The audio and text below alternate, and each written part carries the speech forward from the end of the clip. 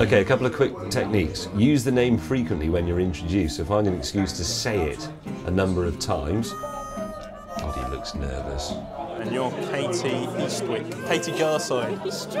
Thanks. Right, it was close. Katie Garside. close. I think she quite likes you, Rory. Yeah, she's only human.